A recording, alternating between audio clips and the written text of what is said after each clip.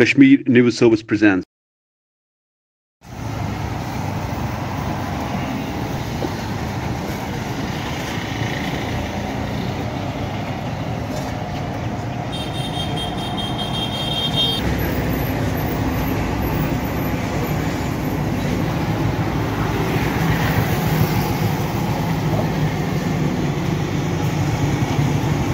ਅੱਜ ਸਭ ਤੋਂ ਪਹਿਲੇ ਮੈਂ ਬੋਲਣਾ ਚਾਹੁੰਦਾ ਕਿ ਸਭ ਬੜੀ ਮਜਬੂਰੀ ਵਿੱਚ ਕੋਵਿਡ 19 ਚੱਲਾ ਰਿਹਾ ਬੜੀ ਮਜਬੂਰੀ 'ਚ ਸਾਨੂੰ ਇਹ ਧਰਨੇ ਦਾ ਆਯੋਜਨ ਕਰਨਾ ਪਿਆ, ਬੜੇ ਸ਼ਾਰਟ ਟਰਮ ਨੋਟਿਸ ਕਿਉਂਕਿ ਸਰਕਾਰ 'ਚ ਬੈਠੇ ਜਿਹੜੇ ਲੋਕ ਨਾ ਬਹੁਤ ਵੱਡੀ ਕੰਟਰੋਵਰਸੀ ਕ੍ਰੀਏਟ ਕਰਾ ਦੇਣਾ ਇਹਨਾਂ ਸਾਰੇ ਜਾਣਦੇ ਆ ਕਿ ਕੁੰਜਵਾਨੀ ਚੌਕ ਵਿੱਚ ਮਹਾਰਾਜਾ ਗੁਲਾਬ ਸਿੰਘ ਦੇ ਸਟੈਚੂ ਲੱਗਣੇ 2002 ਦਾ ਇੱਕ ਸਿਲਸਿਲਾ ਚੱਲਾ ਦਾ ਮਗਰ ਸਾਡੇ ex MLA former speaker Kavinder Gupta ji ਪਿਛਲੇ ਕੁਝ ਦਿਨੀ ਤੋਂ ਪੋਸਟਾਂ ਪਾ ਰਹੇ ਆ ਕਿ ਉੱਥੇ ਬੰਦਾ ਸਿੰਘ ਬਹਾਦਰ ਦਾ ਸਟੈਚੂ ਲਾਇਆ ਜਾਏਗਾ।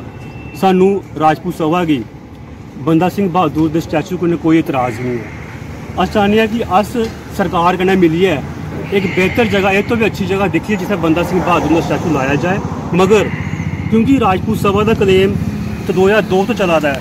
ਉਸ ਟਾਈਮ 2002 ਸਰਕਾਰ ਨੇ ਸਾਨੂੰ ਰੋਟਰੀ ਅਲਾਉਡ ਕੀਤੀ ਕਿ ਮਹਾਰਾਜਾ ਗੁਲਾਬ ਸਿੰਘ ਦਾ ਸਟੈਚੂ ਇੱਥੇ ਲਾਇਆ ਜਾਏ।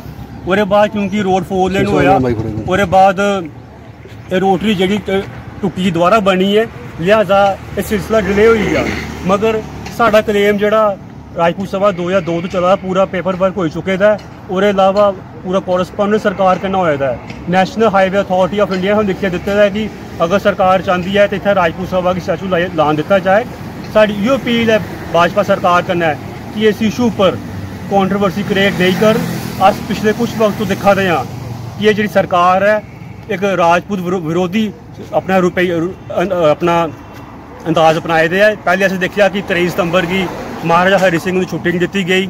ਉਹਦੇ ਬਾਅਦ ਐਲਜੀ ਸਾਹਿਬ ਦੀ ਜਿਹੜੀ ਇੱਕ ਵੀ ਐਡਵਾਈਜ਼ਰ ਜਿਹੜਾ ਰਾਜਪੂਤ ਨਹੀਂ ਆਈ, ਉਹਦੇ ਬਾਅਦ ਪਬਲਿਕ ਸਰਵਿਸ ਕਮਿਸ਼ਨ ਵਿੱਚ ਅਸੀਂ ਦੇਖਿਆ, ਇੱਕ ਵੀ ਰਾਜਪੂਤ ਮੈਂਬਰ ਨਹੀਂ ਆਈ ਤੇ ਹੁਣ ਇਹ ਕੁਜਵਾਨੀ ਚੌਕ ਵਿੱਚ ਮਹਾਰਾਜਾ ਗੁਲਾਬ ਸਿੰਘ ਦਾ ਸਟੈਚੂ ਜਾਂ ਕੋਈ ਹੋਰ ਸਟੈਚੂ ਲਾਇਆ ਜਾ ਰਿਹਾ ਹੈ ਮੈਂ ਅਪੀਲ ਕਰਦਾ, ਭਾਜਪਾ ਸਰਕਾਰ ਕਰਨਾ ਕਿ ਰਾਜਪੂਤ ਵਿਰੋਧੀ ਜਿਹੜਾ ਨਜ਼ਰੀਆ ਨਹੀਂ ਅਪਣਾਉਣ ਔਰ ਮਹਾਰਾਜਾ ਗੁਲਾਬ ਸਿੰਘ ਦਾ ਸਟੈਚੂ ਜਿਹੜਾ ਹੈ ਕੁੰਜਵਾਨੀ ਚੌਕ 'ਚ ਲਾਇਆ ਜਾਏ thanks for watching Kashmir News Service.